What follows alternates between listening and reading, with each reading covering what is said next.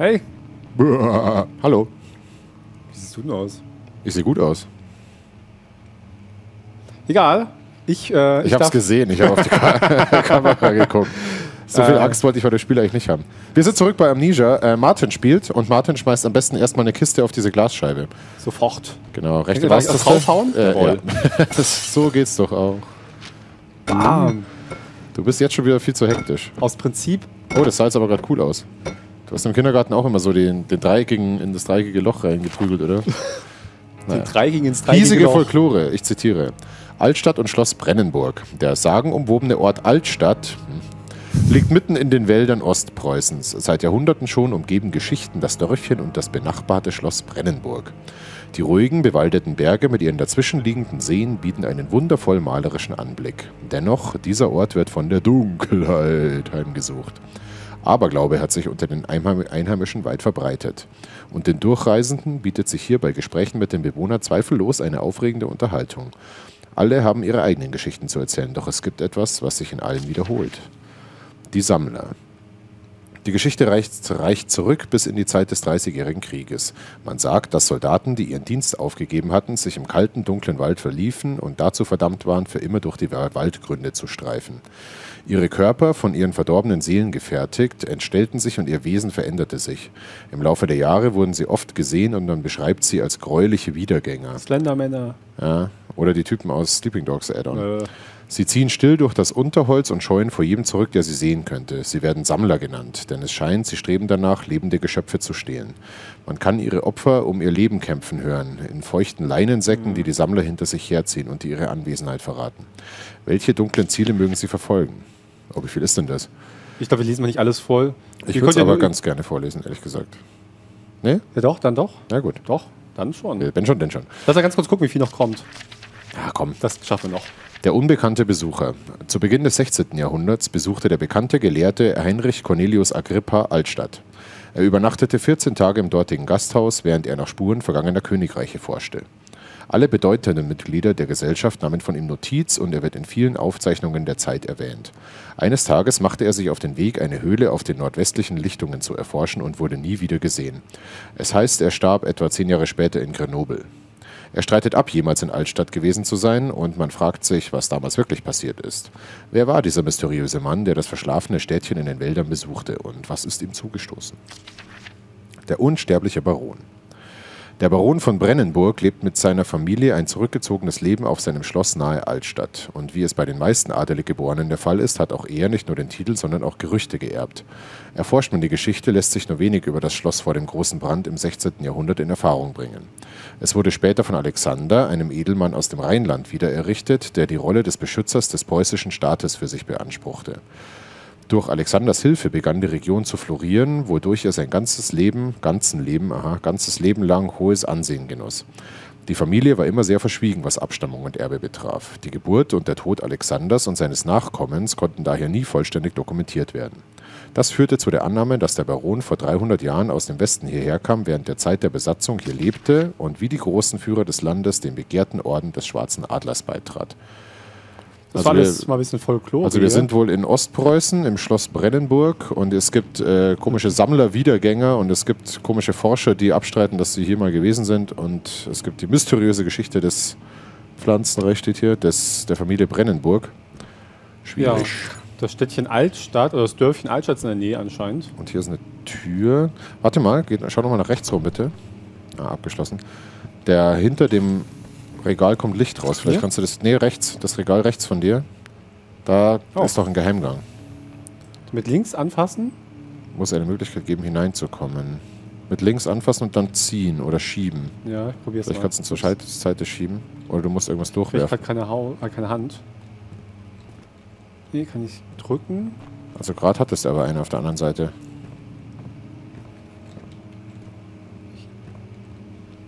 Hm, also hier kriege ich nirgendwo Hand. Ich glaube, Oder es gibt irgendwo ein. Ah, schau mal bei den Büchern. Normalerweise musst du doch immer an dem Buch ziehen, bis dann die, das rausgeht, oder? Das ist nicht. Das ist alles Pflanzenreich. Das ist wie bei Ikea, also Pappbücher, die Immer alles raus. vielleicht eine Attrappe sind. Ah, siehst du, warte mal, schau mal nach unten links. Es ist auf jeden Das sind Fall. dann so Schleifspuren. Ja, Ja. das muss nach links geschoben oder gezogen werden. aber ich Aber ich meine. krieg's nicht zu fassen. Ah, schau mal nach rechts bitte. Gleich stelle ich gerade nochmal hier hin. Ja. Da rechts, rechts, rechts, bei den Büchern, anderes Bücherregal. Das, Ah, das helle Buch? Das helle Buch, ja. Ja.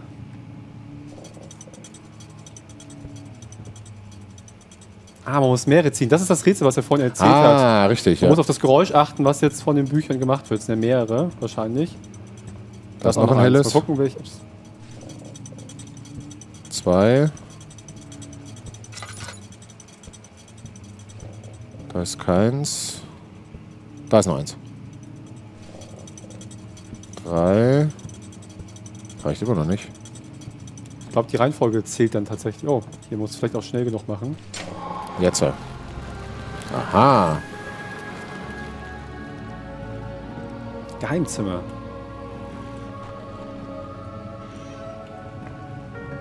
Hier könnten wir wahrscheinlich Feuer anmachen mit der Zunderbüchse, ja, aber so dunkel ist ja hier zum Glück nicht. Da ist Oh, der Schlüssel. Ha! Ja. Wow. Äh, Nur, dann bewegt er sich auch gleich so ganz langsam. Das ist eklig. Schau doch mal in die Schubläden. Das wäre irgendwie. Schreibunterlage. Hm. Mal umdrehen. Nee. Schule hingestellt. Oh. Notiz. Bezüglich der Schließung des Weinkellers. Wilhelm und seine Dummköpfe haben meine Forschungen, Forschungen lange genug gefährdet, um mit ihrem selbstvergessenen Umgang mit den menschlichen Gefäßen. Hä? Okay. Der Schultheiß hält ein wachsames Auge auf den Wald und tötet meine getreuen Bediensteten. Es ist nur eine Frage der Zeit, bis sie der Spur nach Brennenburg folgen. Ich muss Wilhelm und seine Männer wegsperren, um weitere Untersuchungen von der Öffentlichkeit zu vermeiden. Der Weinkeller wird daher verschlossen, bis die Sache geklärt ist. Entweder gehen die Männer des Königs oder sie werden verhungern. Was auch immer zuerst eintritt, meinetwegen können sie verrotten. Vielleicht werde ich ihnen etwas Wein zu trinken geben. Das würde in gewisser Hinsicht beide Probleme lösen. Aha.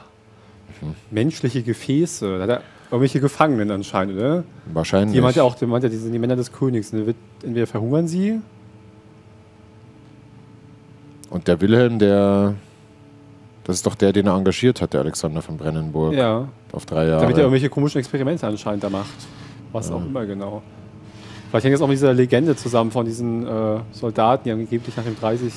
nach dem 30-jährigen Krieg da noch rumeiern. Das war ein ganz schöner Scheißkrieg übrigens. Ja, das stimmt.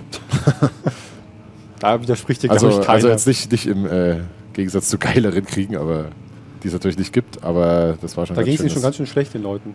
Ja, da ging es aber ungefähr allen ganz schön schlecht. Und vor allem ganz schön lang. 27 Jahre lang. Naja, schon fast noch ein bisschen länger. Hier war nichts mehr. Nee, ich meine, jetzt wo wir den Weinkellerschlüssel haben, ne? hätten wir dieses ganze. Ich gucke mich nochmal um. Da Hier sagt gerade einer Psst hinter dir. Hm? Nee, das klang Äh, nur so. mehr. Hier geht's noch Jetzt hier zurück, links durch, durch den Kartenraum, genau. Nee, hä? Hä? Geht's denn hier raus? Wir kamen, Kann wir kommen noch von rechts auf das Klavier zu, oder wir nicht? kamen von hier, ja, da ist aber alles eingestürzt Kann man hier inzwischen. irgendwie rüber? Nee, hä? Nee. Wir kamen doch vom Recht, wir kamen doch von hier, oder nicht? Ja, das ist aber eingestürzt, da müssen wir woanders jetzt raus. Ach, warum das denn? Ich mag sowas nicht. Hier rechts vielleicht, da war nichts mehr, oder? Nee, da war ja nichts mehr. Sicher? Nicht? Dieser Ach, es war doch in dem, in dem Raum, wo der Geheimgang war, war doch noch eine Tür. Ja, Die war ja. auch verschlossen. Wir, Ja, haben den wir haben den Schlüssel für den Keller, für den Weinkeller. Meinst du, der passt da? Schauen wir mal. Bist du sicher, dass du versucht hast, die aufzumachen? Da ist doch jetzt offen. die ist auf und alleine. Ah. Oh, oh, oh, oh, oh.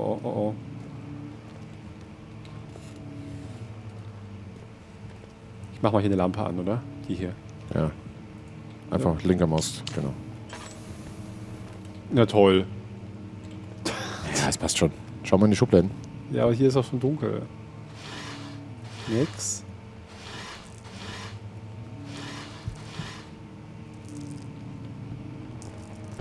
Ja, guck, das reicht ihm nämlich schon. Ich hasse auch dieses Schmatzgeräusch, die ist nicht gut. Das ist jetzt hier der große. Das- Ah! Wow. Warum fängt es bei mir an, komisch zu werden? Oh oh. Oh oh, was war das denn? Also den kennen wir ja schon, den Raum. Warte mal, hier ist. Das knistert das auch so slendermäßig. Da geht nix. Libri Veteris, da ist auch nix.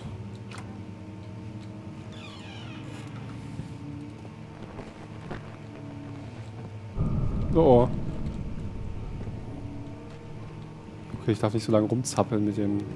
Du solltest eh viel, viel weniger rumzappeln mit ungefähr Ja. allem. Ja, aber auch. Mach mal Licht hier an.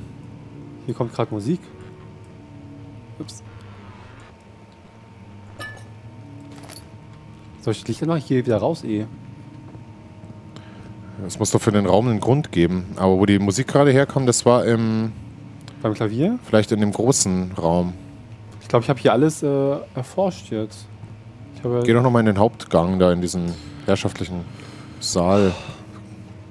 Nicht so hektisch. ja, bei mir wird es aber auch gleich wieder fies. Das bildest du dir alles ein. Das ist alles nur in deinem Kopf. Ja, hier ist. Da, Da, rechts hier zurück. hinten, genau. Da geht's wieder Ja, zurück. ist doch gut.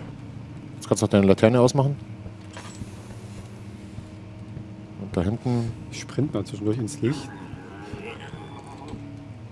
Oh oh. Nur die Ruhe. Hier hörst du es nicht. Nur die Ruhe. Hier geht's zurück nach rechts, oder? Links. Links? Da lang? Nee, da rechts. Da geht's, da geht's raus. Okay. Genau. Oh, ganz unangenehm. Eieiei. Die Statuen beteten und starrten an die dunkle, gewölbte Decke. Na danke. Ah! Wow! Boah. Ah nee, hier ist falsch. Hier geht's gar nicht zum Weinkeller. Äh, Weinkeller ist da hinten. Schnell weg, schnell weg.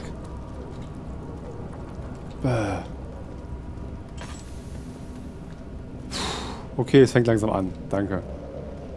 Ich dachte schon, der Anfang ist jetzt relativ entspannt gewesen. Aber ich glaube jetzt.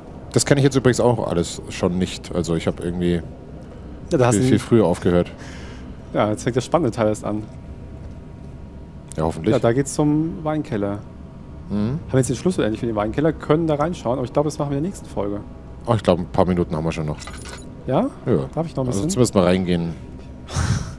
Ich wollte, ich wollte erst ein bisschen Pause machen, bevor ich in den Weinkeller gehe, aber na gut. Da ist er bestimmt überhaupt nicht gruselig. Achso, jetzt muss ich den noch da rausnehmen, oder was? Vielleicht Doppelklick oder so. Ah ja. Ja, ja, ja.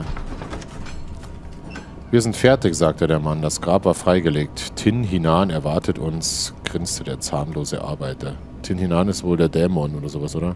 Er hat jetzt ja Mutter von allem genannt. Scheint so, ein, so so. eine Göttin oder Dämonin zu sein in, in Algerien.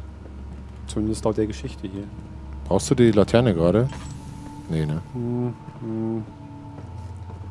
Eigentlich schon. Äh, Vielleicht gibt es irgendwo eine Kerze oder sowas. wie sieht es eigentlich aus mit.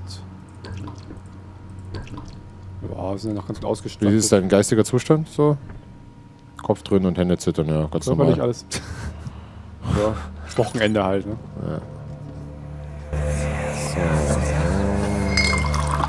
Where did the Baron go? Who cares? He left us enough wine to last us a lifetime. Or at least until tomorrow. Ah, das waren wohl die Eingesperrten. Ja, ist die den Weinkeller leer gesoffen haben. was ist hier eine Karte an der Wand? Das hat er von dem Kellergewölbe. Ja. Der Computer meckert auch gerade, dass der Speicherplatz fast weg ist. Ich glaube, jetzt machen wir jetzt die Pause. In der nächsten Folge erkunden wir mal den ganzen Weinkeller hier und gucken, was aus den Leuten geworden ist, die eingesperrt Ihr waren. könnt uns jetzt auch gar nicht mehr sehen, bestimmt. Ich mach Fax. Möglicherweise. Naja. Ähm, ansonsten bis Ja. zur nächsten Folge. Tschüss. Ciao.